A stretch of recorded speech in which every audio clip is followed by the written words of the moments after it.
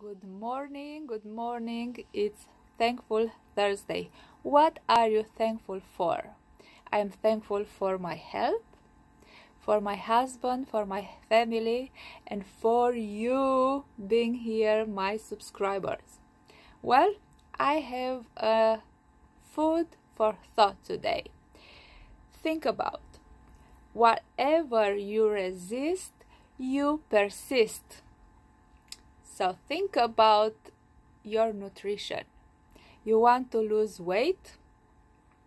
You eat, an example, two pickles a day. Don't do that. So you have two pickles a day because you want to lose weight, right? Wrong.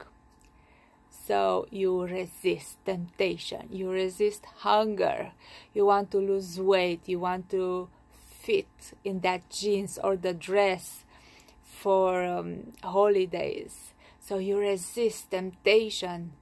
But at the end of the day, you or midnight, you go to refrigerator and start eating and then what? You gain weight, right? That's why I'm here to help you. So whatever you resist, you persist because you keep eating the wrong food the wrong time.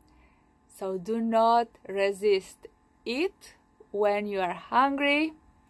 Eat the right nutrition. Again, I'm here when you need me.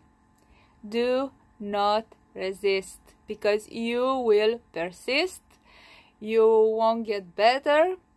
Just think about Thankful Thursday, food for thought. Enjoy your day.